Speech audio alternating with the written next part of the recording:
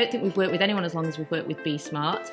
Um, and I think that just that's because of the way Philippa, James, and the team are they personalise everything and they work with us. They're always really excited to whatever it is we're ringing them about. They're quite keen to just jump on it and um, work with us to produce the best piece of work. You know, you often get big designers, big design agencies, and it's not that easy to actually speak to the designer.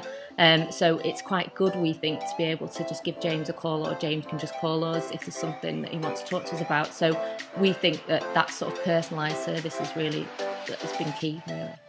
Um, other things that we tend to ask a lot of Be Smart is infographics. It's really popular at Halton to do anything that anything that we can get stats on. We try and turn it into an infographic. Um, we just think it gives a real good. Um, a really nice way of presenting the information.